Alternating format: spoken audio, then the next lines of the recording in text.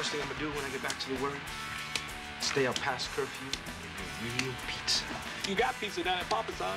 Yeah, if you like crust that tastes like rubber. Well, now, if it's good enough for Charlie Cong Sandals, it's gotta be good enough for Papa San's crust. Really? Those little slices of dog meat make it real tasty. Hey, newbie, tone that down a bit, will you? Don't tell me you guys don't like Hendrix.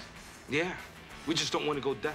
Maybe if you had some Merle Haggard or some Johnny Cash. Or some Motown. Ew, great. Sit down amongst the Philistines. Hey, man, I ain't no Filistino. I'm a Puerto Rican. Is that the new dress code back in the world these days? I get the idea the dress is the one thing he left at home. Yeah, but didn't forget that necklace, though. Look at that. Everyone wearing those, and you just a sissy boy. How long you guys been here anyway? I mean, don't you have any any idea what's going on back in the States? Yeah.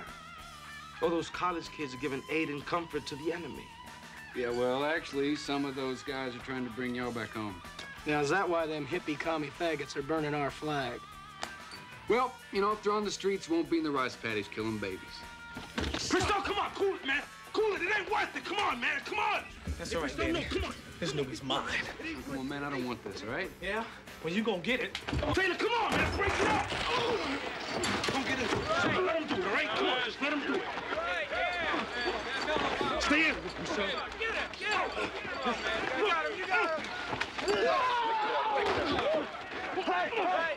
Knock it off. Now, what in the hell is going on here? I'm talking to you, Taylor. Snoopy's got a bad case of flapjaw, Sarge. Just a little difference of opinion. Well, all right, then. Why don't you all save a little synergy for the NVA, huh? Come on. Everybody get on back in there now. Taylor, please.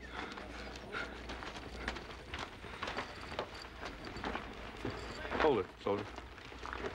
What is your name? Hockenberry. Francis Thurman. Hockenberry. Well, look, I'm not saying this was your fault. I'm not blaming you or anything, but you are new here. I just want to tell you, I'm not going to let anybody new come in here and upset my men.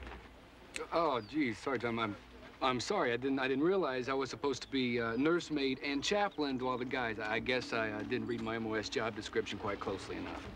You got yourself a big mouth. You know that? No kidding. I was born with it. But you could die with it, too. You know that? And why don't you just get on in there and do something useful, like clean your weapon? I don't carry a weapon. Say what? Say, since my MOS job description says I don't have to, trust me, I did read the fine print on that one. What is your MOS? 91 Alpha. I'm a new medic. Lord, Lord.